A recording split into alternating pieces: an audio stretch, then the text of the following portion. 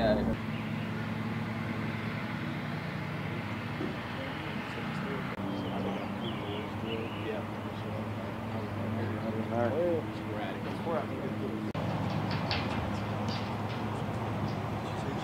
Just out. Right here. Just, walk on through the just keep on towards her.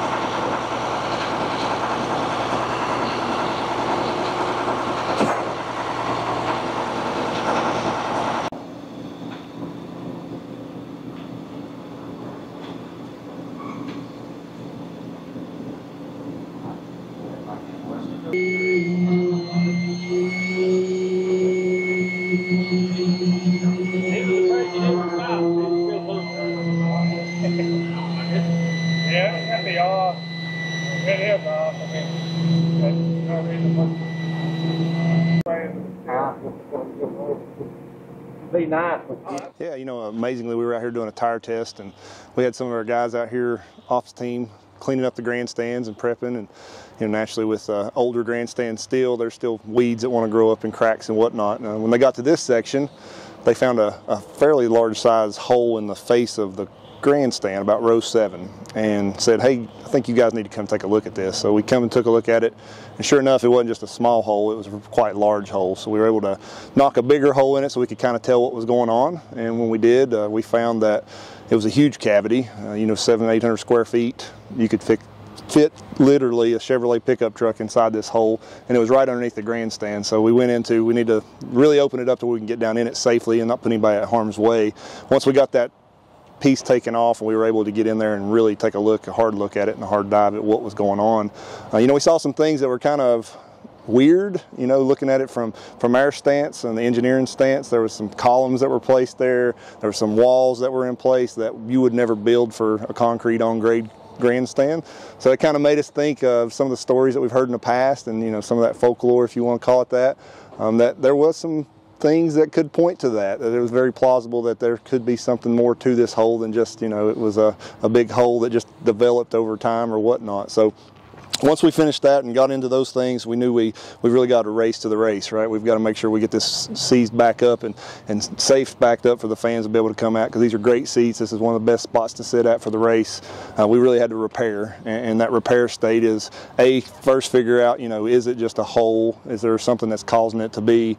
Um, and we didn't find any sinkholes as people call them that you're familiar with seeing on the news where the bottom falls out and houses fall in. We didn't find anything like that. We were able to test it with some water and, and things of that nature and we knew at that point we had to fill it back up with something that was going to be sustainable.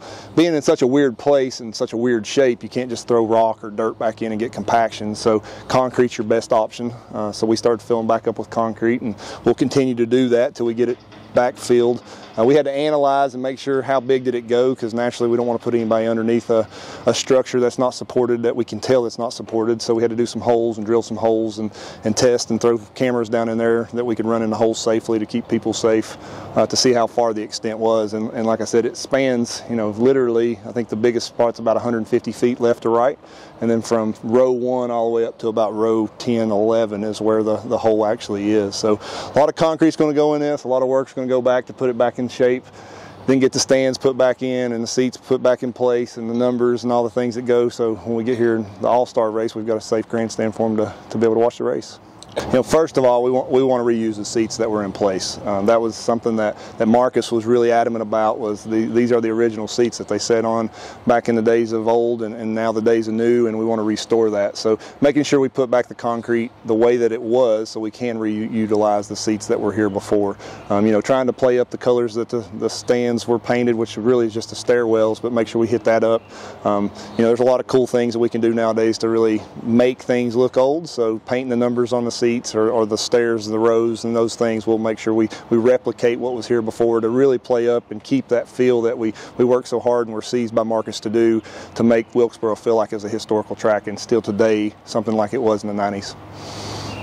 Well, you know, it's hard to tell. I mean, one of those things we, we look for things that were either land or buried, so we didn't want to dig too deep into it. Um, you know, I, I, referenced, I think, being an archaeologist for a certain extent, but one, we don't have the time to go deep diving and really digging into things. We've got to get things put back together. But there's still, it's still plausible. I mean, like I said, there's there's things that are underneath there that you wouldn't see under a grandstand typically from a construction stance like you wouldn't see columns you wouldn't see a wall. That, that makes no sense why those things are in place. Now there may be a, a reason that they placed that years ago, but um, those people aren't here to tell us those stories. And just looking at it from a common knowledge, it really doesn't make sense why they're there. So I think it's still plausible. It's still got, you know, that Mythbusters needs to come out maybe and do something on it to prove it. But I think that there is still a chance that something was there. Um, you don't find holes like that just by chance, and you don't find columns and walls in place under grandstands by, by chance. So we had to move forward. Uh, we didn't get to spend a, an entire time really, you know, looking and digging around trying to find jars and moonshine or,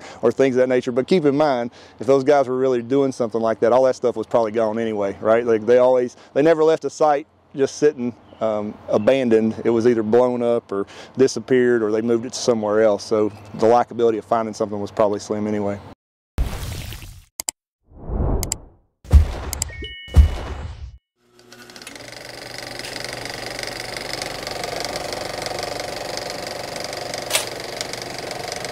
All right, there's the checkered flag. Great job, driver.